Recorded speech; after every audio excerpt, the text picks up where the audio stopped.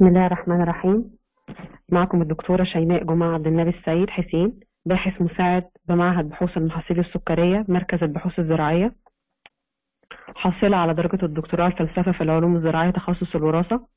رسالتي كانت بعنوان تأثير بعض المغذيات الصغرى على الخواص المورفولوجية والجزيئية لنبات الاستيفيا وتم نشر البحث في Scientific Report التابع لنيتشر. وفي البداية بس أحب أشكر كل القائمين على المنصة وبالأخص المهندس إبراهيم عاشور على اهتمام بالحضور وعلى الدعوة. آه، ويا رب تكون محاضرة ممتعة ومفيدة للجميع بإذن الله. بسم الله الرحمن الرحيم. النهاردة هنبتدي آه، هنتكلم عن آه، نبات حديث الجميع خصوصا في الآونة الأخيرة في مصر وهو نبات الاستيفيا طب إيه هو نبات الاستيفيا طب محاضرتنا النهارده هتكون بعنوان Stevia plant and its importance on the ground. إيه هو نبات الاستيفيا؟ هو نبات عشبي معمر. اسمه العلمي Stevia rebaudiana Bertoni بيتبع family Asteraceae. موطنه الأصلي أمريكا الجنوبية. في باراجواي والبرازيل. ده من النباتات المعروفة للإنسان والمستخدمة منذ عدة قرون حيث كانت قبائل تسمى قبائل الداندايوز ده هم السكان الأصليين لأمريكا الجنوبية. كانوا بيستخدموه في تحلية طعامهم وشرابهم. وكانوا بيعرفوه أيضا باسم الورقة الحلوة أو ورقة العسل أو ورقة السكر. وده شكل النبات وده التصنيف الخاص بيه. طيب إيه هو history of Stevia أو تاريخ الاستيفيا؟ تاريخ الاستيفيا تم تقديمه لأول مرة في أوروبا من قبل الغزاة الأسبان في القرن السابع عشر. اكتشفه العالم دكتور مويسيس سانتياغو بيرتوني في أواخر القرن التسعة عشر أي تم اكتشافه من منذ أكثر من 1500 عام طيب إيه هي مكونات نبات الاستيفيا؟ نبات الاستيفيا بيحتوي على مجموعة من المركبات المحلية الطبيعية التي تسمى glycosides ال glycosides دي بتتميز بقوة التحلية العالية جدا وبتضم كل من الاستيفيو الاستيفيو بايوسايد الاستيفيوسايد الديكلوسايد A الريبيديوسايد A وبي وسي ودي وإي طيب النسب اللي إحنا شايفينها قدامنا دي دي بتختلف باختلاف الأصناف وبيكون إجمالي نسبة المحليات من 20 ل 25% من وزن النبات. طيب الأصناف دي أقدر أقول إيه عليها كل المكونات دي أقدر أقول عليها إيه 300 400 500 دي بتبقى منسوبه منسوبه لنسبة أو منسوبه قوة التحلية منسوبه للسكروز. طيب يعني إيه؟ زي ما قلت قلنا أكبر مكونين في ال slide اللي فات أكبر مكونين في أكبر مكونين موجودين في ال glycoside ال stevioside وال rebaudioside A طيب. ال stevioside ده أكبر مكون بشكل أعلى نسبة من هذه المركبات بتصل من 60 ل 70% من ال total glycoside بتقدر حلاوته حوالي 300 ضعف حلاوة السكروز. عندي تركيز قد إيه من من ال sucrose solution حوالي 0.4 يعني عشان كده أنا أقدر أقول 300 أو 400 على حسب تركيز ال sucrose solution. ولو لاحظنا هنا إن في التركيب الكيميائي لل stevioside وال rebaudioside A هنلاقي فيه مجموعة جلوكوز زيادة في ال rebaudioside A فهو أعلى مركب آه، في نسبة أو في قوة التحلية في مجموعة ال glycosides اللي بيعمل على تقليل مذاق ال after taste. إيه هو ال after taste؟ ده إحساسنا بالمرارة. فكل ما يكون النبات أو آه، آه، زي ما قلت إن هو بيختلف من صنف للتاني الصنف ده بيحتوي على آه، نسبة ال rebaudioside A أعلى فده معناه إن مش هنحس بطعم ال after taste وأخد approved في عام 2009 من ال FDA طيب. كمان ورقة الاستيفيا بتحتوي على مجموعة أخرى من المركبات زي البروتينات زي الألياف زي الكربوهيدرات حديد فوسفور وكالسيوم ومغنيسيوم وزنك وفيتامين A و C. طيب هنيجي للنبات. النبات بيتميز بطول من 65 ل 180 سنتيمتر. بتجود زراعته في جميع أنواع الأراضي لكن تفضل زراعته في الأراضي ال sandy soil اللي بتتطلب قدر وفير من الطاقه الشمسية. والمناخ المناسب ليه هو المناخ الرطب شبه الاستوائي. ويحتاج تربة جيدة التهوية والصرف. والبي اتش المناسب من 6.5 ل 7.5 ودرجة الحرارة المناسبة للنمو من 20 ل 35 درجة مئوية. طيب ده دي شكل البذور بذور نبات الاستيفيا وده شكل النبات. وده النبات عند التزهير وده بيكون شكله في الأرض. طيب بالنسبة للزراعة التجارية موجودة فين؟ موجودة في الباراجواي والبرازيل ودول آه، الموطن الأصلي للنبات وأيضا في اليابان وفي الصين وفي كوريا والمكسيك والولايات المتحدة الأمريكية وأندونيسيا وتنزانيا وكندا. طيب هقدر أزرع الاستيفيا إزاي؟ أول حاجة عن طريق البذور أو عن طريق ال... عن طريق البذرة أو عن طريق ال stem cutting أو العقل الساقية أو أقدر أزرعها عن طريق تفصيص الجذور. إن النبات لما بيقدر يكبر في النمو بيحتوي من خمس لست أجزاء جذرية أقدر إن أنا أعمل بيها تفصيص الجذور وبالتالي أعمل تكاثر ليه. أيضا كمان عن طريق ال tissue culture أو زراعة الانسجه طيب إيه هي الفوائد الصحية آه، لنبات الاستيفيا؟ أول حاجة بتتعلق بقدرته على تنظيم مستويات السكر في الدم فبالتالي هو البديل المثالي للسكر لمرضى السكر. النقطة اللي وراها إن الاستيفيا منخفضة جدا في السعرات الحرارية فبيساعد بأمان جدا في خفض الوزن. أيضا كمان بيعمل على خفض ضغط الدم المرتفع. عن طريق إن ال glycosides اللي في الإستيفيا بتعمل على الشعور بالاسترخاء في الأوعية الدموية. فيعمل على إدرار البول فبالتالي هيسهل السيطره على الصوديوم في الجسم. كل هذه العوامل بتخفف من إرهاق القلب والأوعية الدموية وبالتالي بتخفض ضغط الدم المرتفع. أيضا كمان إن الإستيفيا مضادة للبكتيريا anti-bacterial فبتمنع تكوين البكتيريا في الفم فبالتالي هي عشبة مفيدة جدا لإضافتها لمعاجين الأسنان وغسولات الفم وأيضا بتمنع تسوس الأسنان والتهاب اللثة آه، بالإضافة إن هي anti-viral مضادة للجراثيم فمهمة جدا في الاستخدام الموضعي لأمراض الجلد وزي الإكزيما والتهاب الجلد. بالإضافة كمان إن الاستيفيا بتحتوي على مجموعة كبيرة من المركبات المضادة للأكسدة.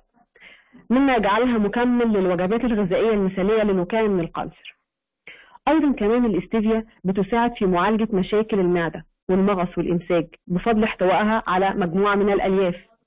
بالإضافة أيضا أنها تقي من, من مرض فقر الدم لأنها بتحتوي على نسبة جيدة من الحديد.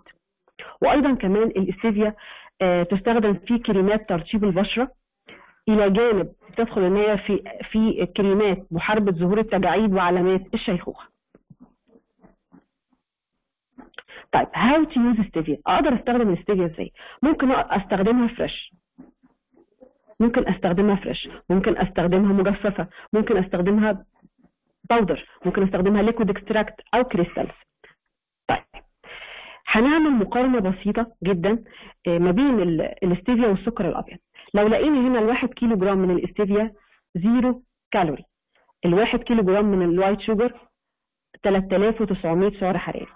المعلقة من الاستيفيا بتساوي 295 معلقة سكر.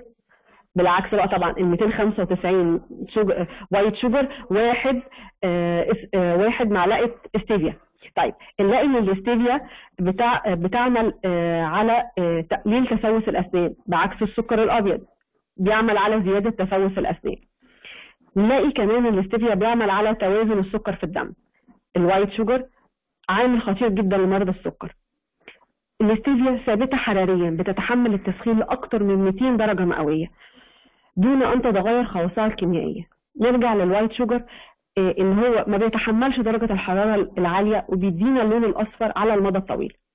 كمان الاستيفيا آه، زي ما قلت بتعمل على الحد من نمو البكتيريا فبالتالي هو بديل آمن جدا جدا جدا من من المحليات أو من ال ال ال السكر الأبيض. طب لو بصينا هنا لل packet من الاستيفيا cholesterol free sugar free سعرات free fat free sodium free فبالتالي هو الاختيار الأفضل من المحليات الصناعية تعتبر من أصح الأطعمة الطبيعية. طيب ال FDA أخذنا من ال FDA أعطت موافقة آه، موافقة من ال FDA في 2008 على الاستيفيا كمادة مضافة آمنة للغذاء وفي 2010 آه، سمحت هيئة سلامة الأغذية الأوروبية بالاستيفيا بالاستخدام اليومي بمعدل 4 مللي جرام لكل كيلو جرام في اليوم. طيب نجيب بعض منتجات نبات الاستيفيا الموجودة في دول العالم. هنلاقيها ان هي بتستخدم حاليا في المشروبات الغازيه اللي بتعتمد على عصائر الفاكهة والمياه الغازية اللي اشتهرت مؤخرا بخلوها من السكر والسعرات الحلبيه كمان بتستخدم في آه، عمل الكيكات والبسكوت بأنواعه والمربات والمشروبات. وأيضا آه، مشروبات اللبن والزبادي الحلو. أيضا بالإضافة إلى أنواع من اللبان الخالي من السكر والحلوى الشرقية. وهنلاقي هنا ده مصنع الجي إل الموجود في الصين. وده بعض الكريمات اللي أنا قلت إن هي بتستخدم فيه بيدخل فيها الاستيفيا كمرطب للبشرة وكريمات آه، محاربة التجاعيد وعلامات الشيخوخة. طيب آه، نبات الاستيفيا إيه هي الظروف المناسبة لزراعة النبات؟ أول حاجة إن النبات بيحتاج تربة جيدة التهوية وبيزرع في جميع أنواع الأراضي لكن بيفضل طبعا زراعته في الأراضي الساندي سويل اللي بتتطلب قدر وفير من الطاقة الشمسية. درجة الحرارة زي ما قلت المناسبة للنمو من 20 أو من 18 ل 35 درجة مئوية بيحتاج ساعات إضاءة كثيره جدا لأكثر من 12 ساعة يوميا. آه، احتياجاته المائية آه، معقولة جدا ومماثلة في احتياجات الذرة وبنجر السكر بعكس القصب اللي بيحتاج مية كتيرة جدا. طيب عمر النبات في الأرض ممكن إن هو يستمر في الأرض من خمس لسبع سنوات.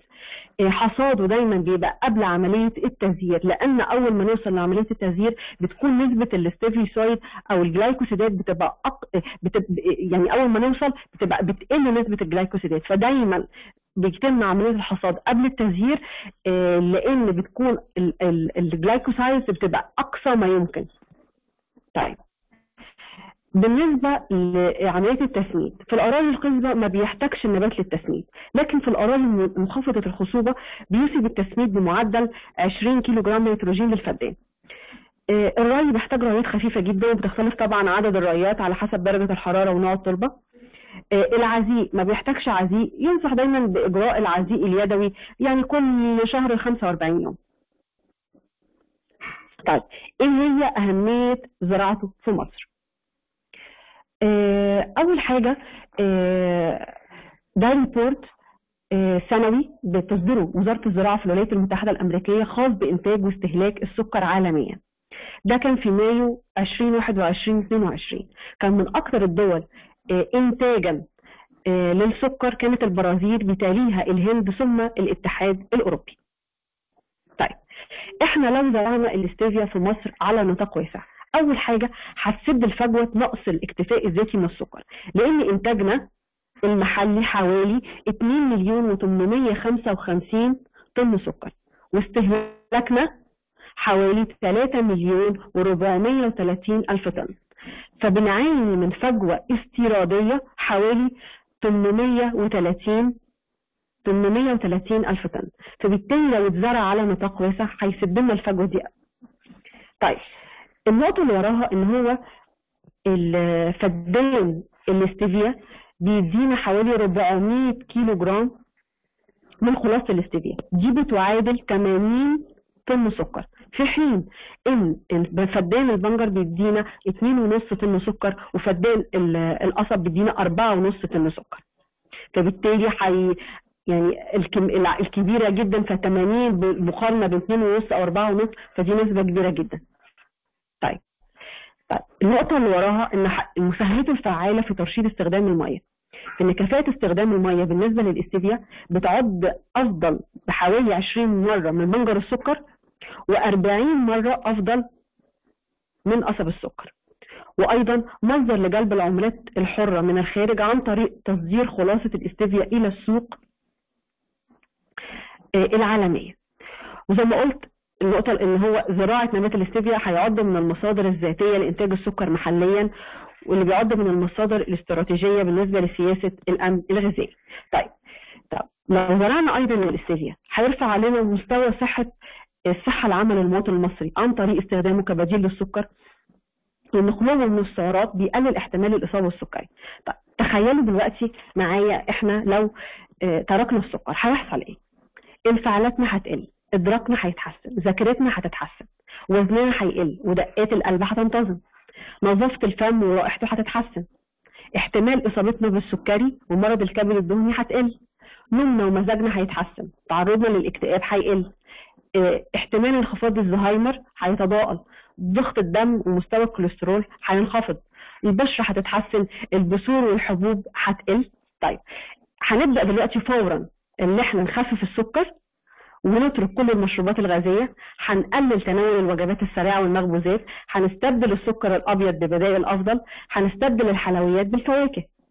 فدلوقتي كمان في أول شركة مصرية قامت رسميا بزراعة نبات الاستيفيا واستخلاص المواد المحلية منه اللي هي شركة استيفيا فارم إيجيبت. دي بتزرع دلوقتي النبات بتقدم شتلات وشعارها نبات استيفيا لكل أسرة ممكن إن أنا أقدر ازرعه في البلكونة في الأسطح في الحدائق. وهو ممكن تقدروا تتواصلوا معاهم على آه، صفحتهم على الفيسبوك باسم Stevia Farm Egypt ودي بعض منتجات الشركة. طيب دلوقتي اللي أنا هقدر هقدر آه، في فيديو قصير جدا آه، بي- بيشرح كل منتجات الشركة.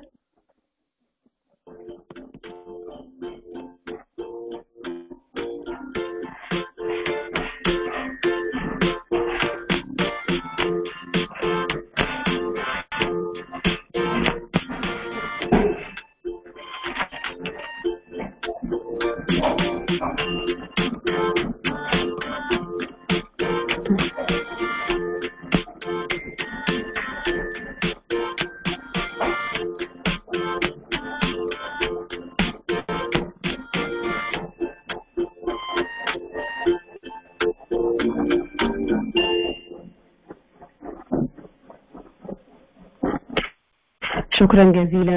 أنا كنت مبسوطة جدا ان كنت معاكم. وإن شاء الله في محاضرات قادمة بإذن الله.